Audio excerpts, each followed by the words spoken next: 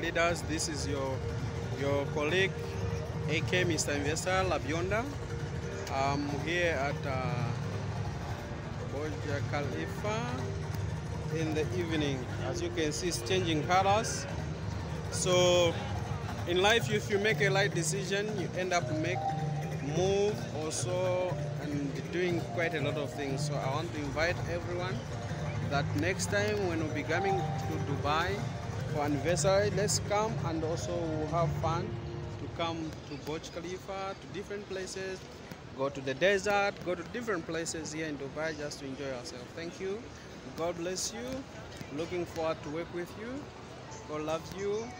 Let's work together. Bye bye. Subscribe to my channel so that you don't miss any video.